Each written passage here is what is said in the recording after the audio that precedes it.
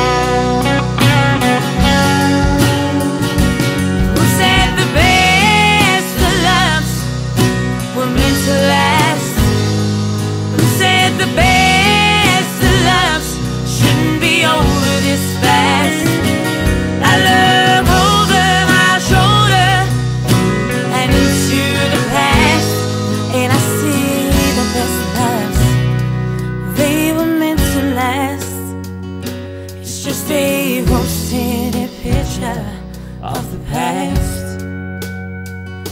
It's just a roasted picture of the past.